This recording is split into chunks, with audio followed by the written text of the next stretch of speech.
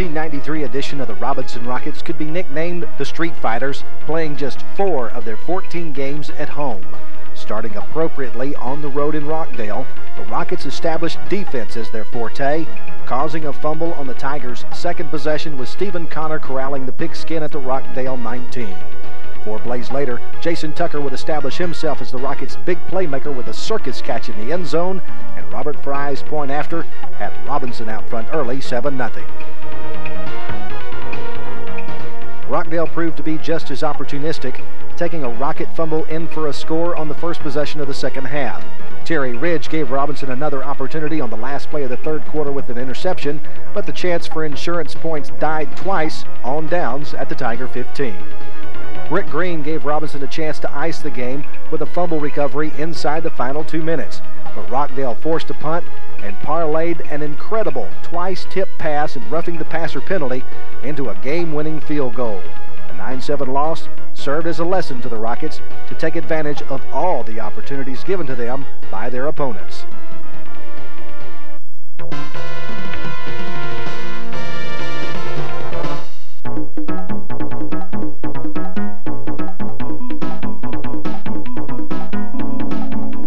Stadium in San Marcos is where the Rockets learned the true value of capitalizing on an opponent's mistake. A fumble recovered by Toby Cockerham in the first quarter wasn't taken advantage of, but when Dean Cummings covered a second quarter fumble at the Sinton 24, Anthony Cacciatore turned it into a 7-0 lead on a 13-yard pass from Ronnie Stevens. After Sinton closed the gap to 7-6 by capitalizing on a rocket miscue early in the second half, Cacciatore struck again with a 44-yard TD catch. Alex Ridge followed that by recovering a Sinton fumble, which Rick Green turned into points on a one-yard plunge. John Hunt then got in on the act by recovering a fumble on the ensuing kickoff at the Sinton 4, and two plays later, Green was in the end zone again for a 28-6 lead. A stingy defense led by Cameron Keller, Keith Adamick, and Kyle Wilson made Sinton use the rest of the fourth quarter clock to score a final touchdown, but when the final seconds ticked off, the Rockets had claimed the 28-12 victory.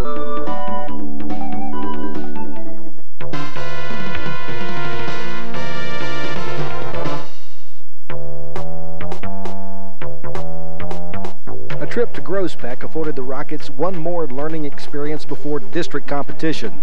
Against the Goats, the role of special teams became apparent when Terry Ridge set up the Rockets' first scoring opportunity by returning a punt to the Groesbeck 37. 12 plays and five minutes later, Ronnie Stevens hit Anthony Cacciatore with a two-yard TD pass, and Robinson had staked themselves to a 7-0 advantage. Tim DeLeon swiped the Goats' next pass, but it was a fumble recovery by Warren Bradley later in the second quarter, which set up the Rockets' next score. A 36-yard field goal by Robert Fry gave Robinson a 10-0 halftime lead, but the lead stood up only because of some great defensive efforts like this sack by Brandon Higgins and this heads-up play on a screen pass by Marcus Hensel. The third quarter started strangely as the Rockets kicked off from their own 20 after being penalized for arriving late from the locker room and then kicking the first kickoff out of bounds. The good field position helped Groesbeck close the gap to 10-6, but fumble recoveries by Stephen Connor and Tim DeLeon stopped Groesbeck threats to take the lead. Then, with less than two minutes to go, the Goats special team turned in the play of the game. Toby Cockerham gave Robinson slim hope of salvaging victory by knocking down the return man at the two. But Groesbeck hammered home the game winner, handing Robinson a second last-minute loss, 12 to 10.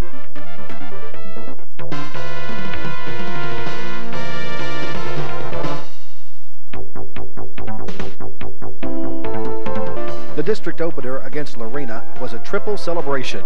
Not only was it the Rockets' first home game of the year, it was homecoming. And the Rocket offense was celebrating the return of Jason Tucker, who missed the previous two games with an injury. Tucker took little time to join the festivities as he leaped high into the air to snag the Rockets' first touchdown on a 19-yard pass from Ronnie Stevens. Next time down the field, it was Tucker again, this time from 25 yards out for a 14-0 Rocket advantage. Brandon Higgins wasn't going to let the offense have all the fun as he covered a fumble on the Leopards' next possession. Tucker then started the Rockets goalward with this 21-yard reception. Gary Hoffman got 15 yards closer with this nifty run. And Rick Green capped the drive for a 21-0 lead that became 24-0 by halftime thanks to one more outstanding play from Tucker and a 30-yard field goal from Robert Fry. One more lesson for the Rockets to learn was the importance of scoring on your first possession of the second half while stopping your opponent's initial second half thrust. The Rocket offense took the second half kickoff and held the ball for almost six minutes, going 53 yards in 11 plays.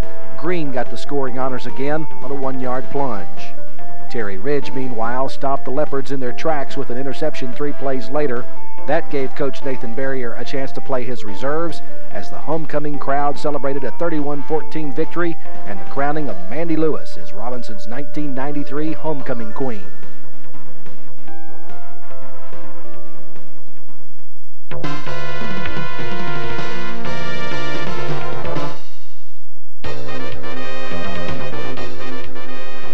Back on the road for week five, the Rockets showed they didn't forget any of the lessons they learned in the previous four games.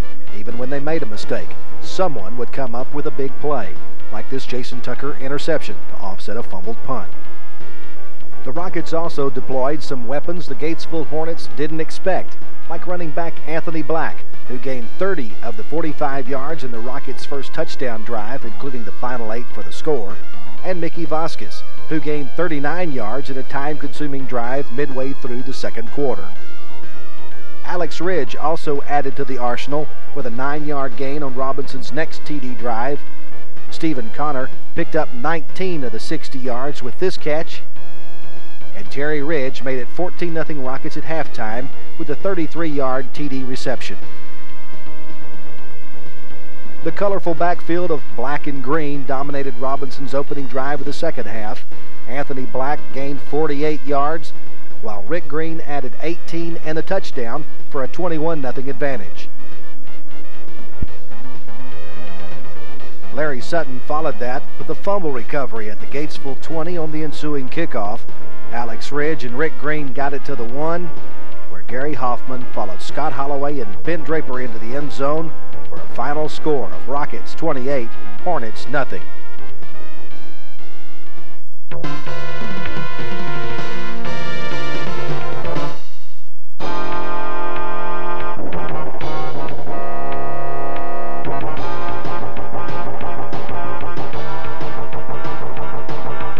The Rocket defense seemed to like the taste that the Gatesville shutout left in their mouths as they swarmed over the Connally cadets like piranha on a feeding frenzy.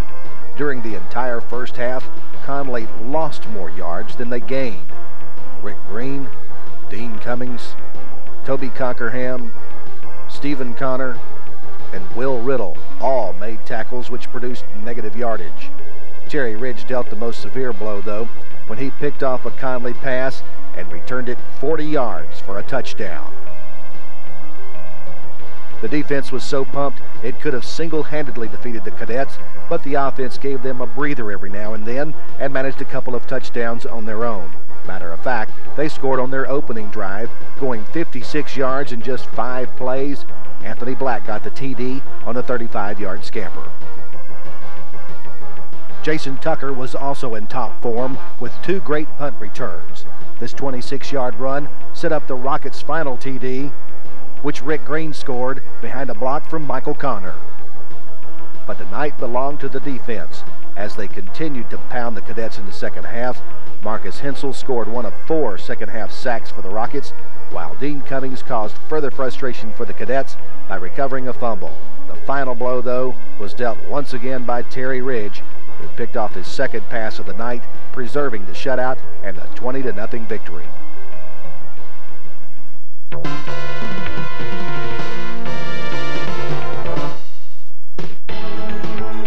With back-to-back -back shutouts on the road, the Robinson defense was anxious to display their stingy talents at home against Marlin. Anthony Cacciatore swatted down a pass to stop Marlin's first drive, and then Brandon Higgins stopped the Dogs' second drive with a tackle behind the line of scrimmage. Higgins also excelled on special teams by recovering a fumble after a second quarter Robinson punt. That led to the Rockets' first score on a 32-yard pass from Gary Hoffman to Jason Tucker that bounced off the back of a fallen defender right into Tucker's waiting arms. That's worth a second look.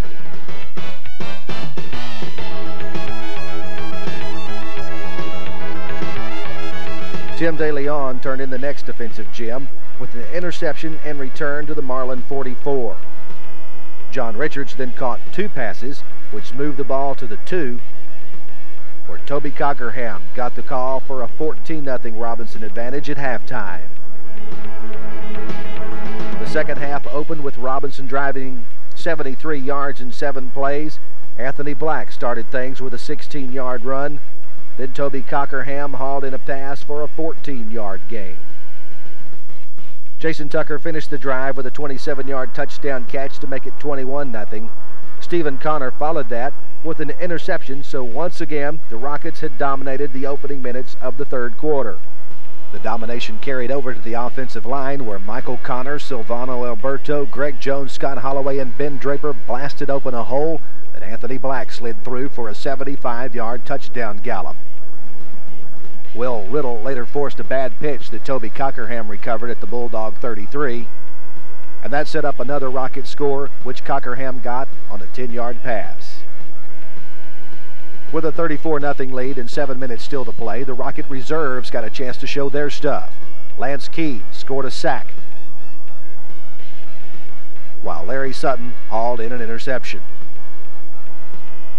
Starsky Lewis also helped run out the clock with a 14-yard reception. It's been 12 quarters now since anyone has scored on Robinson, and the Rocket record now stood at 5 and 2.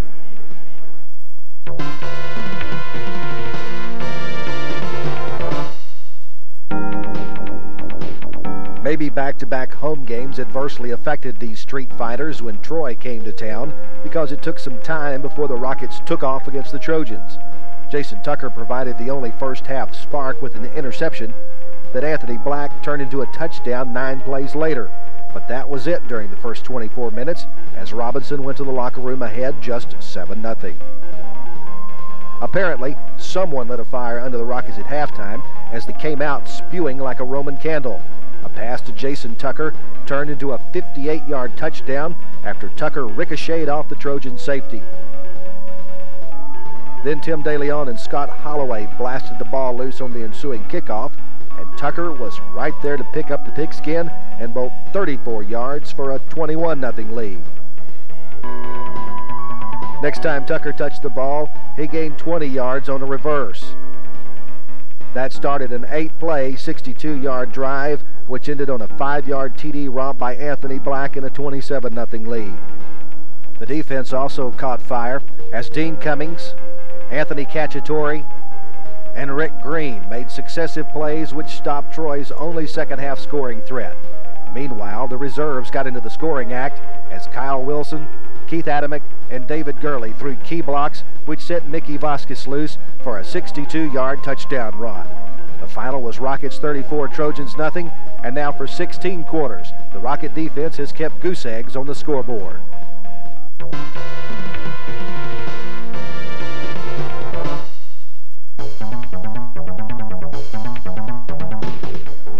Buses, the Rockets motored to Siberia, or at least it felt that way, as a 40 mile per hour icy north wind greeted them at La Vega's Pirate Field. Taking the wind into consideration, the Rocket defense had to deny La Vega any scoring chance during the first quarter, and did. Dean Cummings covered a bad pitch to stop the Pirates' first chance. Then good coverage by Warren Bradley, Terry Ridge, and Stephen Connor helped Marcus Hensel score a fumble recovery to stop another Pirate drive. When the teams changed sides for the second quarter, Tim DeLeon forced the Pirates to punt from deep in their own territory. From the 24, it took just one pass to Jason Tucker and a four-yard run by Anthony Black for the Rockets to hit pay dirt.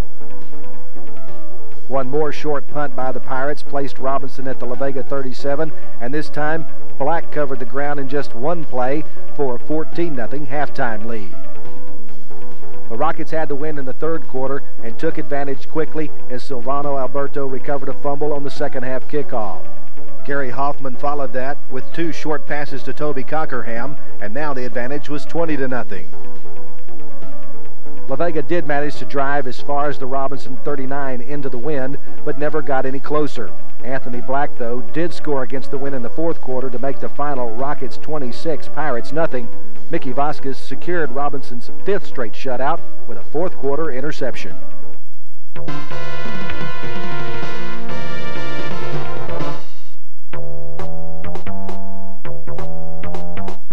The icy win at La Vega gave Robinson a share of the district title and a guaranteed spot in the playoffs. So there was little to play for when Cameron came to town for the regular season finale. Cameron, though, had to win to claim a playoff spot, and they gave the Rockets a dose of their own medicine. The first half was a defensive struggle, the only points coming on a safety after Cameron blocked a punt. The only touchdown of the game came on the initial drive of the second half Cameron going 56 yards in 14 plays while chewing up seven minutes of the third quarter clock. An interception stopped Robinson's first drive of the second half and resulted in a Cameron field goal. The Yeoman picked off two more passes and kicked a final three-pointer to make it 15-0.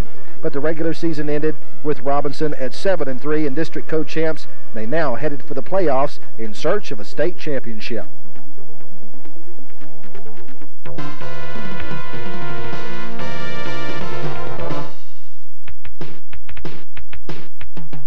The playoff road began in Waxahachie against the Fairfield Eagles. Clearing blocks at the 20 from Jimmy Rape, Chris Griffin, and Scott Holloway opened a hole for Jason Tucker, and with John Richards running downfield interference, Tucker took the opening kickoff 92 yards for a touchdown.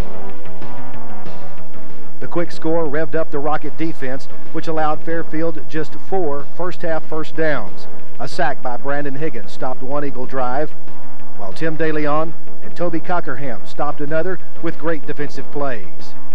Stephen Connor also stopped Eagle threats with a fumble recovery and this interception. Just one play after that, Jason Tucker was in the end zone again after hauling in a pass from Ronnie Stevens for a 14-0 halftime lead. It was almost 21-0 at halftime as Terry Ridge picked off Fairfield's final pass of the period and got as close as the 10-yard line. Anthony Black made it 21-0 early in the third quarter when he capped the Rockets' opening drive of the half with a 17-yard TD sprint. That's all the points the Rockets would get, but far more than they needed. As the defense recorded its sixth shutout of the season, Tim DeLeon sealed the victory with one last interception.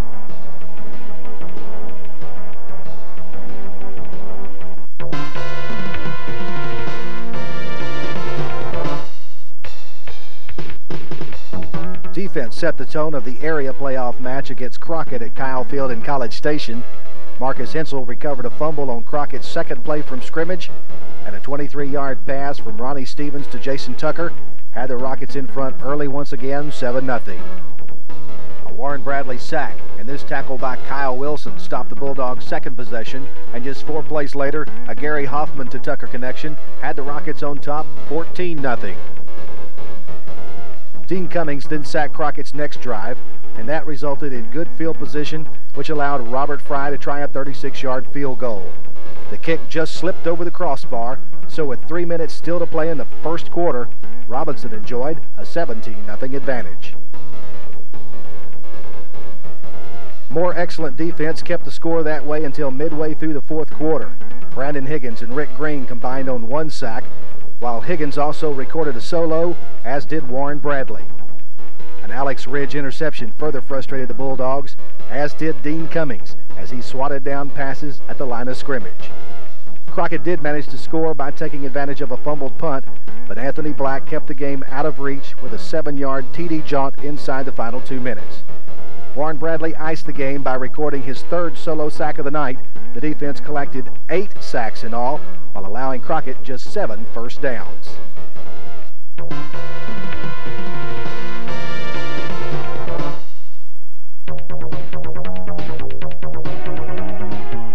In the regional finals against Sealy, the offense proved they could dominate a game much like the Rocket defense. Turning the most routine plays into long-distance touchdowns, the Rockets built a lead that would not be topped by the Tigers. A simple slant across the middle to Jason Tucker turned into a 7-0 Robinson lead as Tucker turned on the speed and outraced defenders 86 yards to pay dirt. Early in the second quarter, Anthony Black got great blocks from Stephen Connor, Scott Holloway, and Ben Draper to blast into the secondary, where he outfought defenders for an 82-yard touchdown run and a 14-0 lead. The defense did set up the next score as Toby Cockerham hammered the ball loose and Warren Bradley picked it off in midair. Taking the more conventional approach, the offense took five plays to cover the 35 yards to the end zone, with Rick Green scoring the tally from seven yards out. That was enough to send the Rockets to the state quarterfinals, but they added one more score on a 19-yard pass from Gary Hoffman to Tucker. Sealy did manage a late TD to make the final 27-6. The Rockets were now one of eight teams left in the 3A playoffs and headed back to College Station for a quarterfinal showdown with Columbus.